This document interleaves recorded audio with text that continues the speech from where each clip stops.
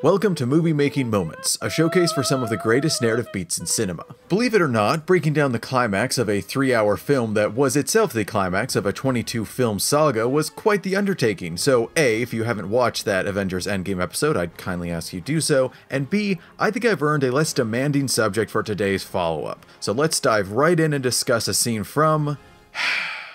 my favorite movie of all time.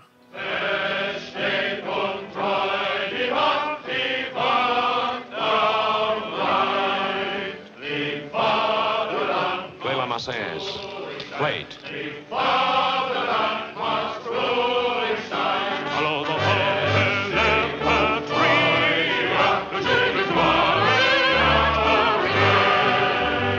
Casablanca is about the condemnable nature of neutrality in the face of evil. It primarily focuses on saloon keeper Richard Blaine as he forsakes his selfish cynicism and rejoins the fight, but for this episode we're going to look at a scene centered around Victor Laszlo, freedom fighter extraordinaire and impressor of half the world. It's my duty to see that he doesn't impress the other half. As Laszlo begs Rick for the letters of transit that will allow him to escape the Third Reich's clutches and continue his work in America, their argument is cut off by the sound of a tinny piano playing in the parlor downstairs. Laszlo investigates to find main villain Major Strasser leading his table of Nazi officers in a rendition of Die Wacht am Rhein. The patrons of Rick's gin joint are all visibly disheartened by this demonstration, but feel powerless to do anything about it. Laszlo, on the other hand, won't stand for the intimidation and immediately marches to the house band to demand that they play the French anthem Le Marseillaise in retaliation. They do, and the entire establishment joins in, drowning out the Nazi song. For such a simple act, it's remarkable how much Casablanca's plot is altered by this beat. Strasser is disturbed by this unfortunate demonstration and ends the film-long standoff between himself and Laszlo, threatening to send him back to occupied France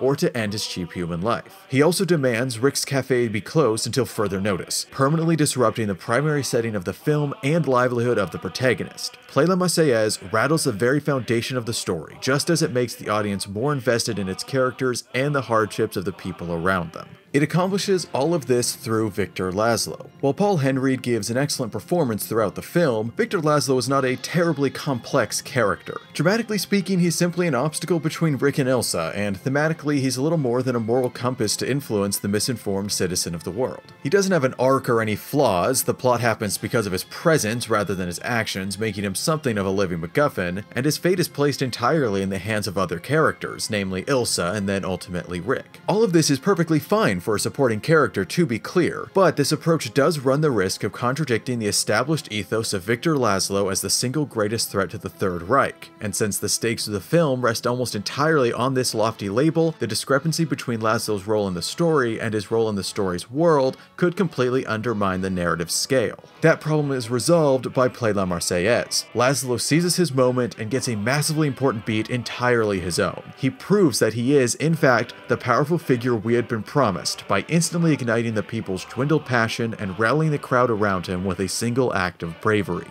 Among this crowd is Ilsa, Laszlo's wife and Rick's former sweetheart, and through her, Play La Marseillaise also successfully strengthens the romantic side of the film. Since so much of the story rests on the drama between Rick and Ilsa, Casablanca spends much less time exploring the relationship between Ilsa and Laszlo. While Ilsa shares some insight with Rick earlier in the film and we're shown a lovely quiet moment between the spouses later, this is the scene that firmly establishes what Ilsa sees in Laszlo, and why, in the end, she belongs with him, not Rick. In just three simple shots, we join Ilsa in her admiration.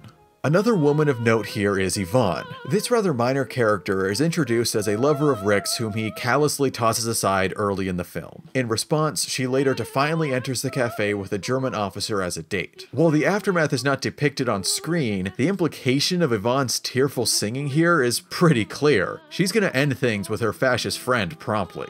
Of course, this through line of spitefulness towards an ex, followed by lashing out with misguided apathy, culminating in the rediscovery of a moral center and higher calling, cleverly echoes the arc that Rick himself is in the midst of. In fact, Play La Marseillaise as a whole echoes Casablanca as a whole. The refugees trapped in the titular town are an ever-present composite character of the film, collectively representing an entire continent's plight as Nazi Germany conquers more and more of Europe. Throughout most of the runtime, they're depicted as miserable and lost as they wait and wait and wait to hopefully find freedom in the Americas, but for Play La Marseillaise, they rise above their despair and fight back in a small but still very meaningful way. The aforementioned shot of Yvonne is particularly moving. Nos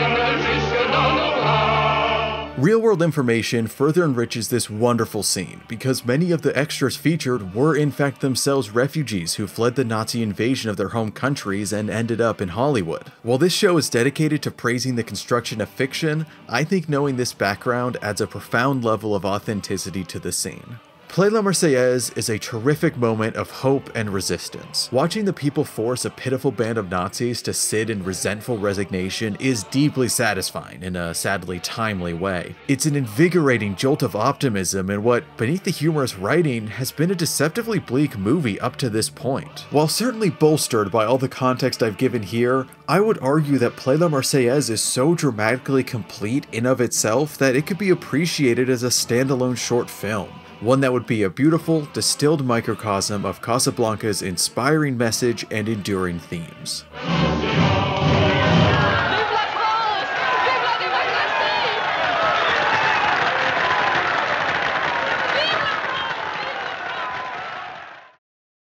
Thank you so much for watching Movie Making Moments. This video was one of three that I put up for the channel's launch. The other two are linked right over there and in the description. Uh, all likes, comments, social media shares are going to be genuinely appreciated, especially because I'm just starting out with this. You can follow me on Twitter at scapdeville, and of course you can subscribe if you want to see more. I plan to do one of these every other week, but I'll be back next Friday with a video on Terminator 2 Judgment Day, so I hope to see you then.